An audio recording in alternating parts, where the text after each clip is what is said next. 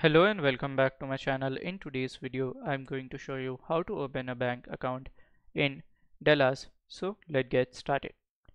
So in order to open a bank account in Dallas City, we are going to use the Chase Bank because it is one of the most popular banks in United States of America and they have many branches throughout the city.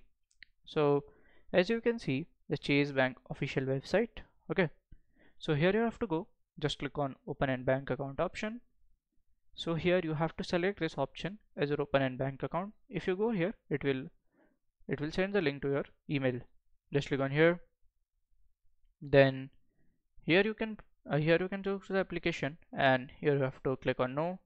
Click on here next. So here you have to put your first name and the last name. Okay. So here let me put the name. So here we have the Phillies Wills just click on next. So here you have to put the date of birth. So here we have date of birth. Okay. So at here you have to do next.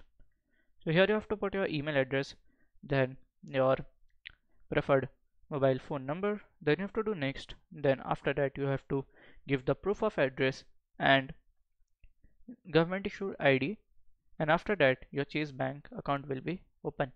So this is how to open a bank account in Dallas City. So if you find this video helpful, make sure you like, subscribe and share the video. Thank you for watching.